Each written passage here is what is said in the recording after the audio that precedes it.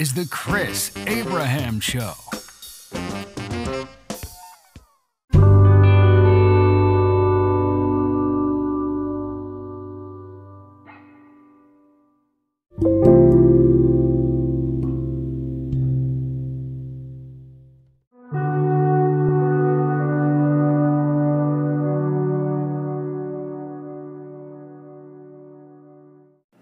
Hey there, this is Chris Abraham, Season 5, Episode 37 of The Chris Abraham Show.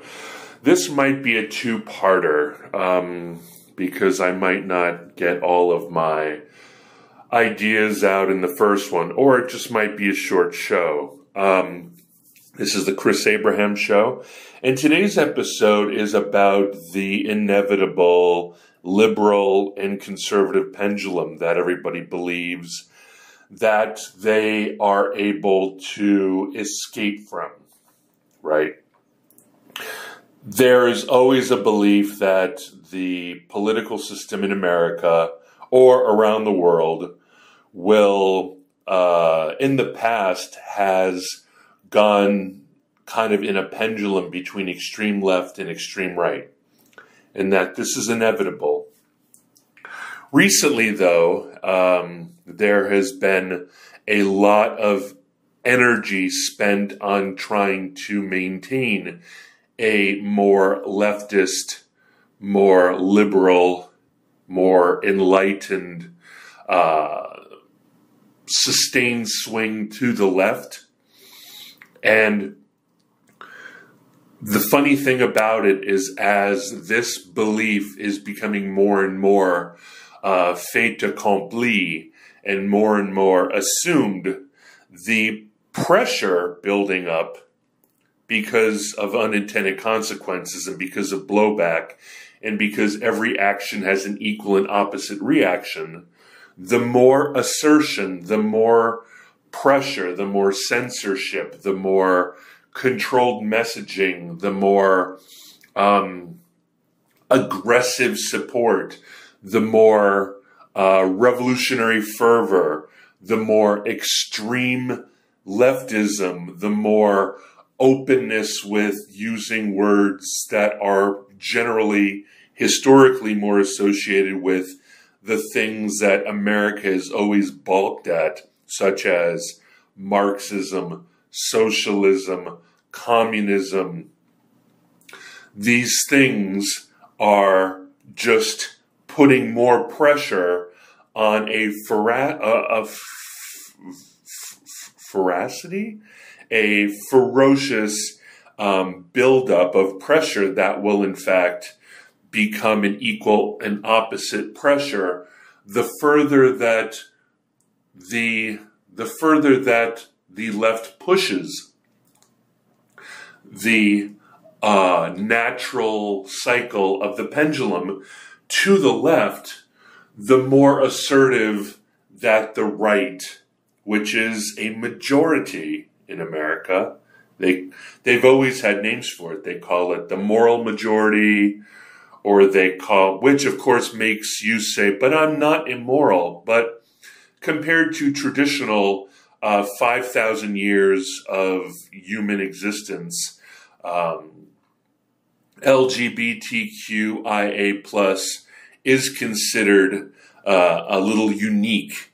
And while one might say that in quote unquote tribal societies, there is always uh, some, you know, two spirit, uh, generally speaking, the two spiritness in a tribe is a is a rarity and is not normalized. It's a it's a rare holy position rather than an entire tribe being, um, I don't know, uh, some variation of non binary or queer.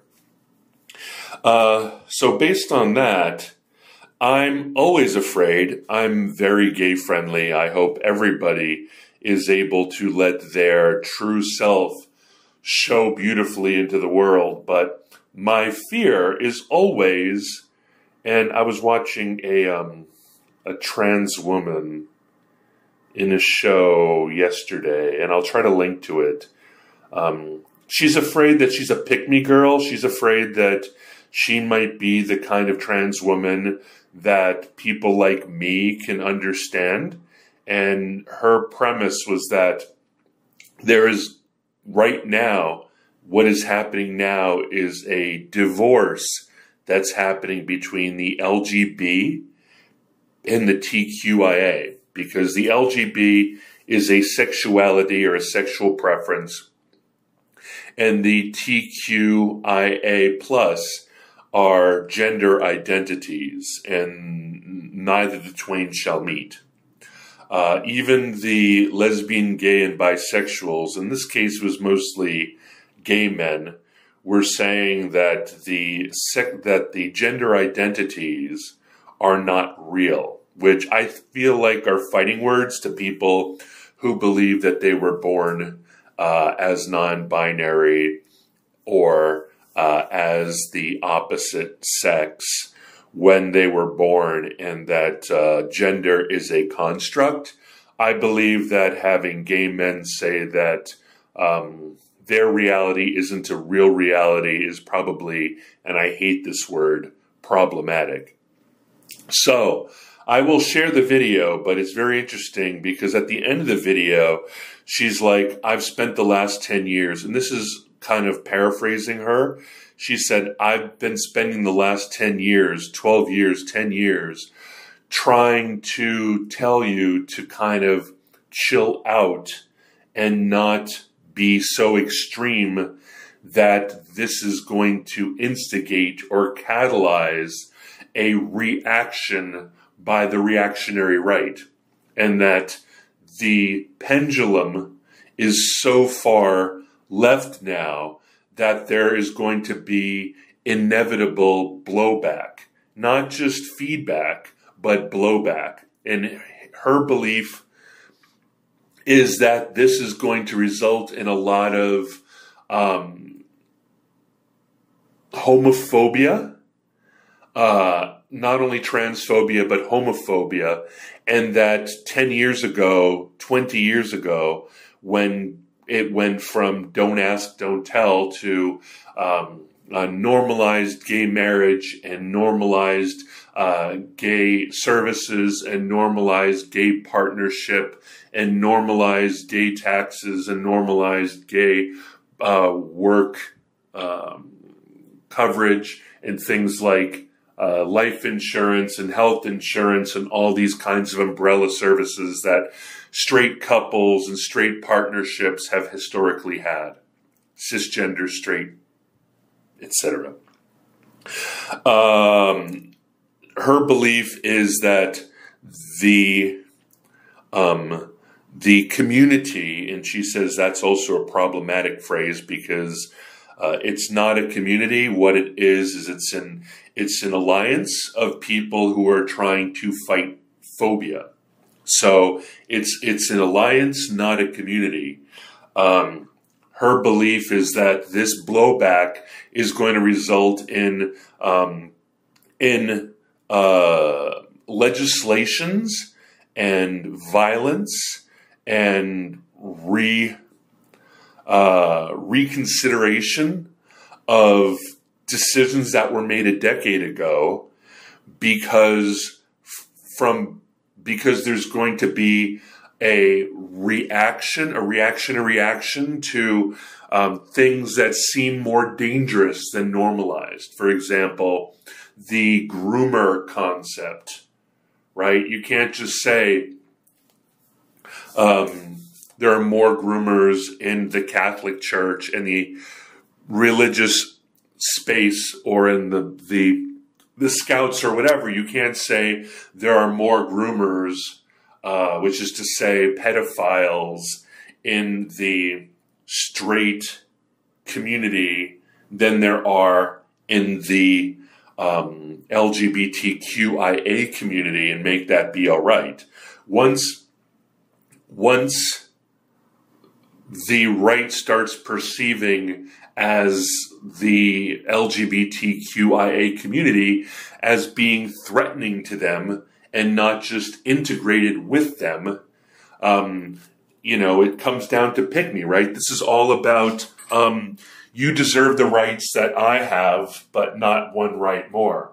Now that the uh, LGBTQIA community is being treated like a protected class or a protected species, that makes the cisgender white straight communities feel like they are lesser than uh, upon the fact that there are videos of people saying, "We will take your children and we will." Uh, we will convert your children and we will uh, make your children non-binary. We will trans them, etc. It doesn't matter what the truth is. It only matters what people perceives perceive. And if this becomes a panic, if this becomes an anti nobody's going to admit to being anti-trans, but you can see every day that straight men are saying, I will, I'm not interested. I'm not interested in dating, quote unquote. I'm not interested in dating an ugly woman or a fat woman or a tall woman or a flat woman. What makes you think that I'm willing to date a trans woman? All of these kind of things. If you start making a silent majority or a moral majority start to feel like they are under threat and they are not you know, you they're not generously in some sort of noblesse oblige, noblesse oblige kind of giving, um, sharing, and accepting a community into theirs, as opposed to a rigorous and vigorous separation and resentment and hatred and outward hatred for everything that is cis, everything that is straight, everything that is square, everything that is norm, quote normal.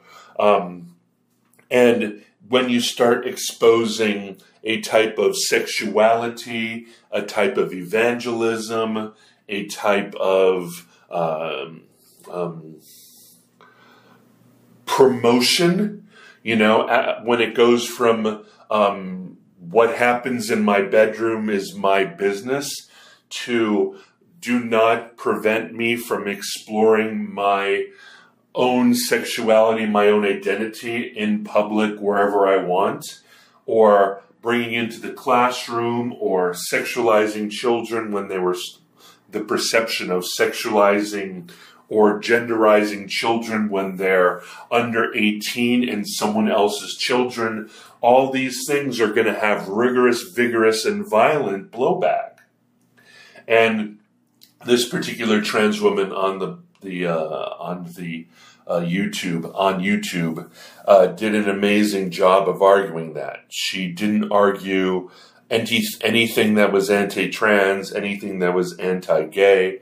Um, she was just saying that, um, and you know, this is a this is a you know a, a traditional trope, which is to say, if you turn the heat up on the pan full of frogs too high, the frogs will jump from the pen. And it's really important when you do cultural revolutions, unless you rely on on uh, literal violence in camps and a real revolution where people are put into camps and they're put into gulags and if they are not flexible they are they are removed or killed or or you know brainwashed or whatever. Like if you want to do a hearts and minds conversion where over time people come become more and more ner- normalized to what have been traditionally countercultural norms and values, then you need the frogs to normalize to the change in heat in the pan without encouraging them to jump out. And by analogy, jumping out in essence means start to be violent uh, against uh, the LGBTQIA community, which will be hereby taken as a lump. So it will blow back not only on um, uh, transphobia, but because the entire thing is an alliance you know, uh, the action of Japan will have, or BRICS, let's use BRICS, Brazil, you know, uh, uh, Russia, India, China, South Africa.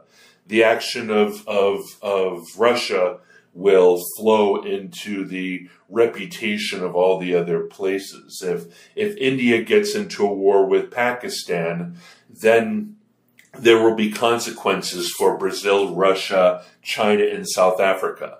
So when you are in a strict alliance, when you are an LGBTQIA plus, um, it's um, uh, all or nothing, right? It so if the um, blowback, you know, that's happening already with regards to uh, Roe v. Wade, right? That was um, that could have been something that was pushed too far too fast.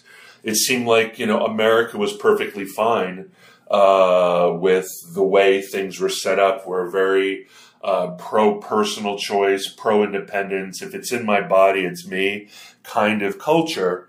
And, you know, the more pressure, the more, you know, people were, um, you know, the religious right was hearing things about full term abortions, abortions after the baby was delivered, all kinds of crazy things that they associate with eugenics or with blood sacrifice or with sacrifice to Baal or with Luciferianism or with Satanism or with anti life or with degeneracy. And here we have that word degeneracy. Now, when um, the normalization of les- gay, lesbian, and bisexuals into their ability to have legally sanctioned by the state by this by the country, by companies, by HR, by the military, and so forth. The normalization of this means that the perception of a threat level is zero. The moment that there's a perceive perception that the entire that this was a complete um, it was a complete trap. It was a bait and switch.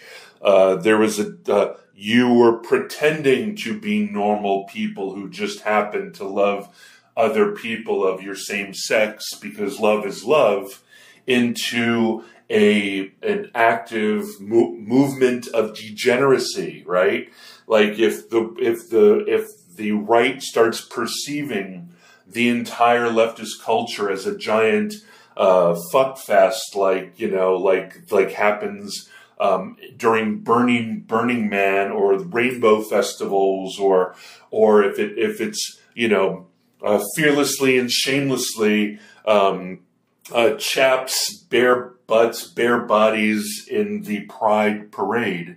Uh, if it becomes something that people are conspiring to do against your children or trying to do against the children's will, or if there's anything on TikTok about, you know, I'm a teacher, I have an opportunity to um, disabuse these children of their uh, patriarch, their patriarchy, or their capitalism, or their traditionalism, disabuse them of their belief in God, disabuse them of their belief in um, one boy, one girl.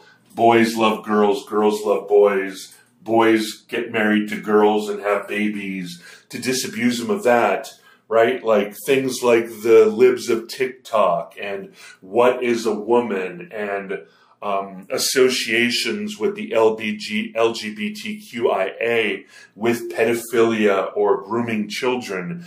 This is, and the fact that this has been pushed away for at least five years. I mean, honestly, once children were home and using Zoom to get their schooling, and once uh, people started listening in on some uh, some school videos and realize uh, streaming uh, webcams and realizing that the that the uh, that the textbooks in their perception I'm an only child who has no wife, has no kids, has no connection to public education. I'm just saying the the chatter that's coming to my ears is there was this perception that nobody knew what was going on until they could listen in on the webcams. And the fact that it seemed to me, in my perception of the chatter, that teachers were saying that parents were prohibited to listen in on what was going on in the schools, but of course that just makes parents want to record everything even more.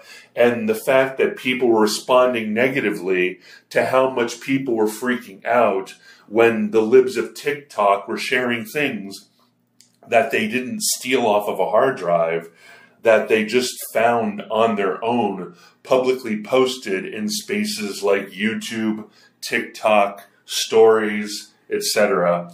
This is an inevitable, inevitable powder keg that's going to explode, and I do not want a world where there is active homophobia. I'm like, I mean, active, like kinetic homophobia, kinetic uh, transphobia, kinetic anti black racism, kinetic anti foreigner racism.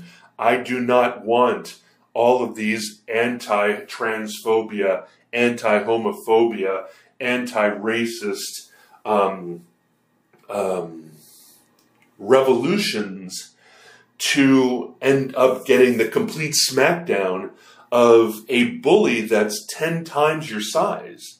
Like, not 10 times, but 2, 4, 6, 8, 10. Like, five times your size. Like, in many cases, the enemy, if you will, is 70 to 80 percent of the population.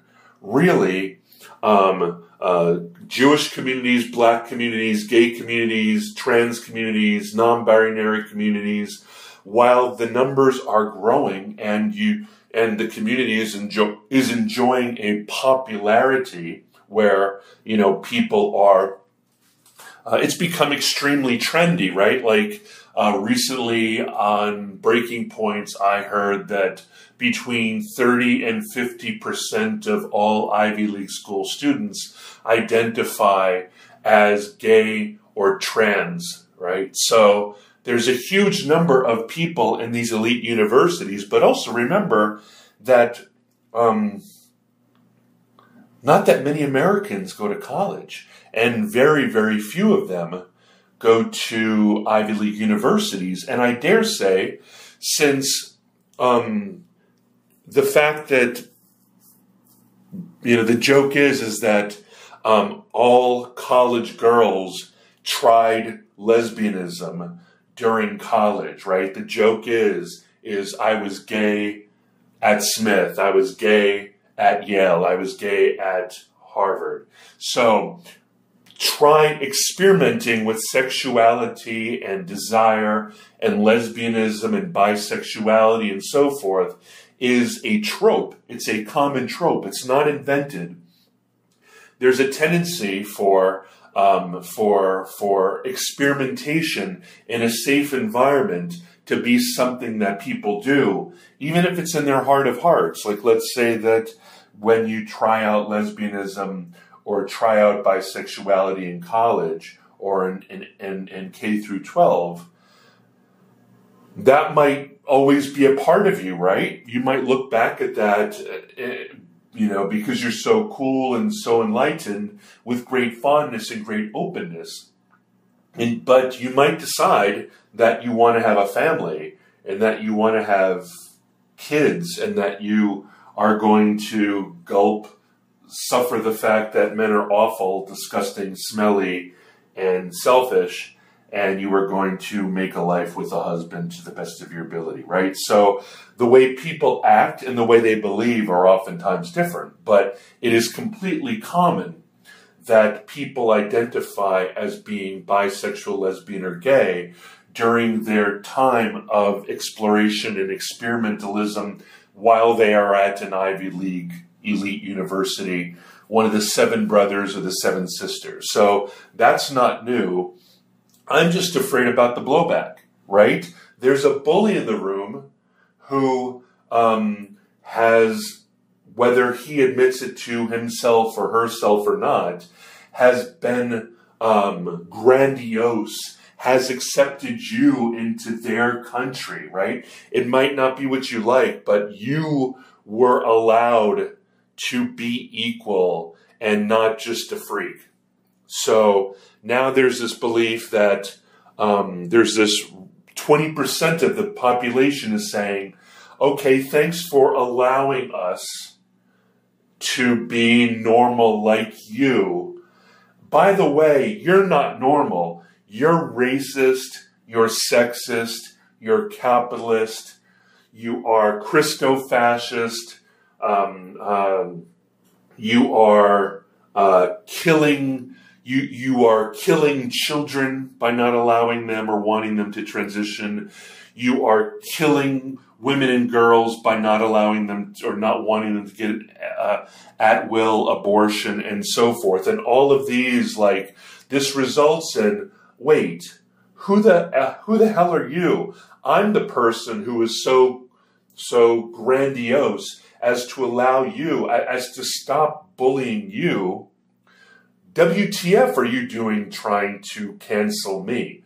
I, in the 80s and 90s, decided to stop canceling you and allow you to go ahead and be who you are and experience your own love is love. And now you're telling me I don't have the ability to be who I am? Let me show you how big I am. Let me show you how big my church is. Let me show you how big my heteronormative world is let me show you how many white people there actually are in this country, and that what happens if we do not explore the noble obligation of being good to our neighbors, and if we give you a little bit of shit canning. Um, and that's what I'm afraid of. And that's what uh, the uh, YouTuber uh, trans woman is afraid of too. And uh, she seems to believe that this blowback is happening now and that it is going to get pretty ugly and that she doesn't know what to do and that she's trying to, she said, what should happen is finding a way of taking LGBTQIA and doing an audit and auditing out all of the perceived grooming, uh, attention to children, attention to K through 12 and like any heteronormative normie, you you're not allowed to touch a girl who's under 18 and generally speaking, you shouldn't really um, touch a girl who's uh, less than 10 years your junior. So there is, um, she says that the only way that this is going to be abated and to calm down as if there's a rigorous de quote quote delousing of groomers and pedophiles from the LGBTQIA um, world. Uh, we see how the Catholic Church, in their unwillingness to actively delouse the Catholic Church and disabuse them of all of their pedophiles, and you know what a pedophile does? a pedophile goes to where the children are, right? So if you are a pedophile, you will become a scoutmaster or you will become a parish priest or you will become a school teacher or you will become um, etc. Uh, maybe you'll become a um, uh, what is it called? Uh, the the kind of uh, doctors that uh, pediatrician, right? So Oy vey. So like I don't know. And of course this is going to blow back on on on um, anti-Semitism, and this is going to blow back on feminism, and this is going to blow back on uh, socialism, and this is going to blow back on Marxism. This is going to blow back on Antifa, and this is even going to blow back on any self-identified trained Marxist associated uh, black activism as well. And it's going to be really ugly if it happens. And I don't know how to prevent it. And I'm seeing it happen too. So this is my prediction. And inshallah, I hope it doesn't happen because love is love. And uh, I grew up in Hawaii where we used to call people who were second to spirit or just gay or lesbian or whatever. Um, there were a lot of trans Hawaiians and they were called Mahu, but Mahu isn't like, you know, the F word or, you know, anything like that. Um, it's not like calling someone FAG or F-A-G-G-O-T. Like Mahu is merely a descriptive thing. Like I've asked all my friends from Hawaii to make sure it's not just a, a haole freaking like guy from New York. Even though I was there from six to 18, I wanted to make sure it was a loving word. And it is like, um, uh, Mahu, uh, sec- two spirit or, or uh, trans or whatever, um, they were um, on palominos in major uh, parades, and they were they're adored and they're accepted and they're loved and they're part of society. And um, growing up, and you know, there's always been lots of gay bars in Waikiki, and I'm sure elsewhere, and lots of gay clubs, and it's always been a culture that's been completely normalized in Hawaii. Uh, so I don't want anybody to be transphobic or or or or or uh, homophobic or um, racist or sexist or any of that stuff. My dad, my mom trained. My dad was a little bit homophobic because he was a pretty boy and he didn't like male attention. Um, but that I recently realized how often my mom uh, must have thought I was gay growing up. Uh, because years later, when I was an adult, she's like, it's not that I have anything against people being gay, but I was really happy when you weren't gay because I didn't want your life to be harder than it would be. So I don't want anybody's mom to tell them that they feel like being gay, lesbian, trans, and so forth would result in a life of suffering. I want everybody's life to be as as I want everybody's baseline to be as gentle and loving as possible. Um, we're all chaotic people. Each one of us are our own biggest our own biggest enemy. Um, but I don't want the external world to look at you cross-eyed. So lots of love. I hope that this all figures itself out without any violence. Um,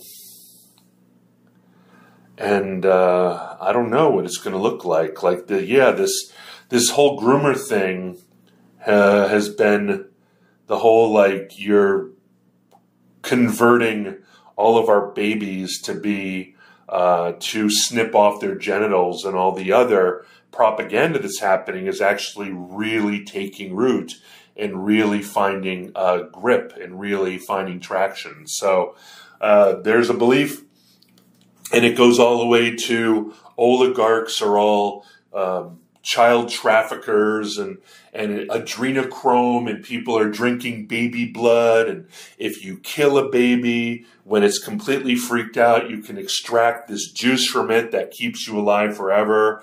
And then all the Baal worship and the satanism like once the entire LGBTQIA community gets rolled up in being a bunch of demons that are all uh, needing to be excised from the entire community, that's dangerous, right? So you don't become humans anymore; you become demons, and uh, and people, you know, no matter how much you mock uh, people of faith, don't forget that there are um, there are um, uh, what is it? There are Orthodox uh, Jewish communities that still believe in you know and and and demons and and and and sin. There are Christian communities that still actually believe in demons and the devil and the spiritual war between good and evil that is going to result in a in a uh, in a judgment day. There are Muslims who are the most believers in the entire world. I mean, they believe, believe, believe. And I was talking to a, a, friend the other day, and he said that if he found out his son was gay, he would kill him. And I don't know whether that's real kill or like figurative kill. But if he found out that anything like this was happening, he said that he would move his entire family back to Albania. So, um, so like, don't get that wrong. Like, don't forget, Um, um, uh, black families are pretty anti-gay and anti-trans. Um, a lot of them are Christian and anti-gay and anti-trans.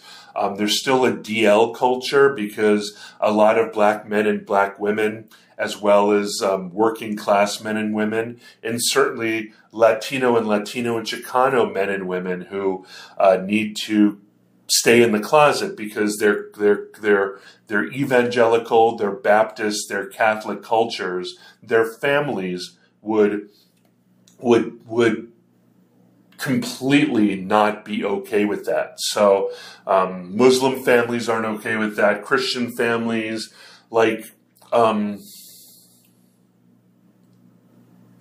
like it's terrifying. It's terrifying.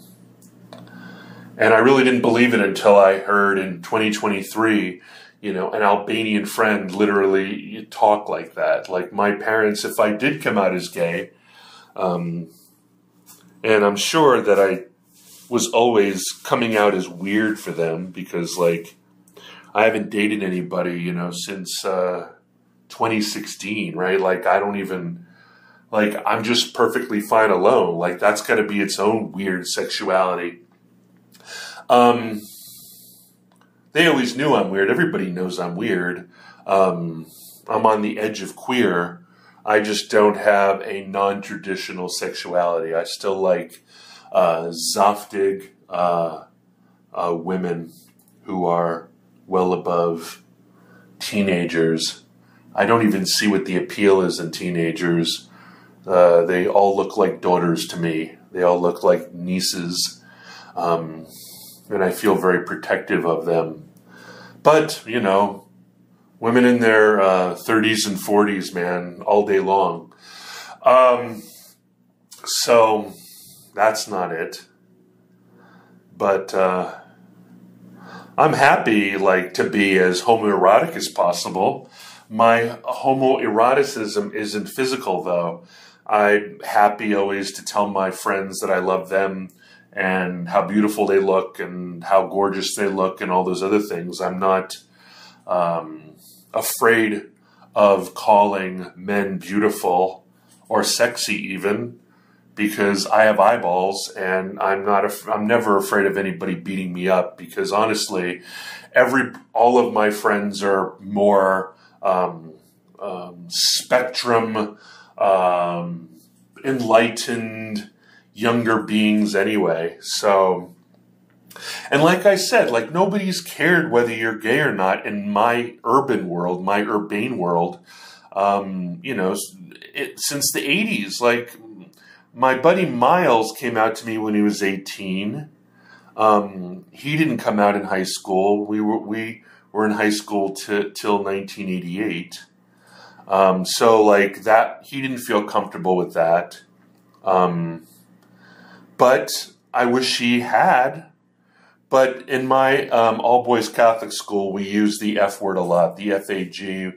Everybody called everything FAG. And that might have been uh, because a lot of people called all boys Catholic school boys to be FAGs as well. So I remember that when I was um, a high school wrestler in an all boys school, I know I got a lot of like stink from the other boys from other schools who would wrestle us. Um, you know, they would make jokes about, um, you know, um, don't feel me up, and this is not this is not a makeout sesh, and all that other kind of stuff. So maybe that unintended consequences, because you know, even if you don't mean what you say, if um, you use the FAG word as a weapon, uh, people who are gay, lesbian, bi are going to feel it's a hostile environment and will keep their head down. And I understand this idea that it's really important not to keep your head down, but like, I don't know. I feel like I understand that, but you have to have risk assessment, you have to have risk mitigation. And um, while your environment, your cocoon, your community, your space, where you've moved to to feel safe, your bars, your your clubs, your your choirs, uh, your schools, your state and local government, your cities feel like completely safe spaces. Realize that it's still, um, in many places in the United States, it's still the 19th century. In a lot of other places, it's still the 50s. In, in a lot of lot of places, right outside the Beltway, it's still 1970s. So, um, I don't want all the frogs to jump from the pan, is all I'm saying. And I love you guys. I shared too much. Um, I'm probably mansplaining, or my voice as a cisgender 53 year old white male isn't appreciated because I have entitlement. I have height entitlement. I have pretty privilege. I have blah, blah, blah.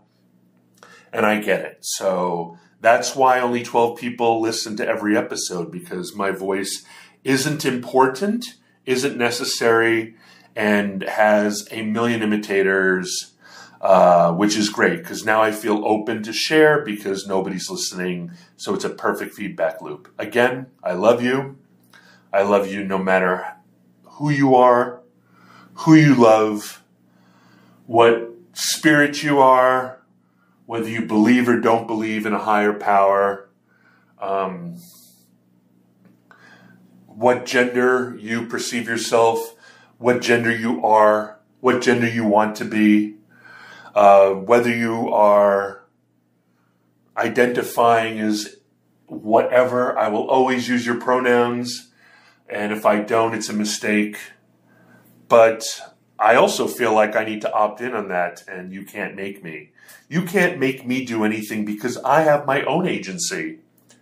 And I don't, even with my own agency, I don't feel like I can tell you to do anything. So, ergo, you can't tell me to do anything.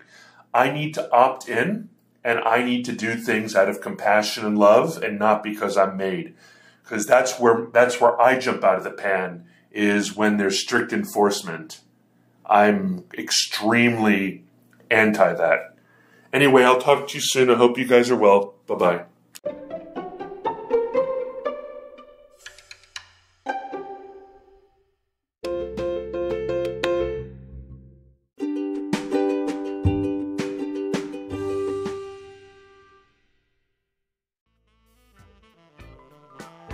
You for listening to The Chris Abraham Show. Make sure you subscribe so you don't miss any future episodes. Until next time.